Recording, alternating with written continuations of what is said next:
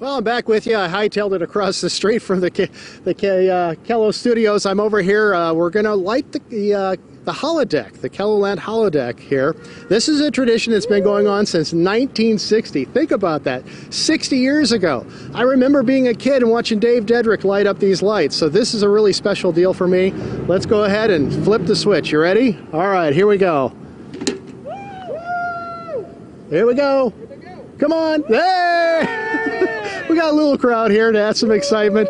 Uh, usually this is the kickoff, of course, for the Parade of Lights, but uh, this year, because of the pandemic, of course, we're not going to be able to see the Parade of Lights. But uh, this thing has been around since 1960. It's 200 foot tall.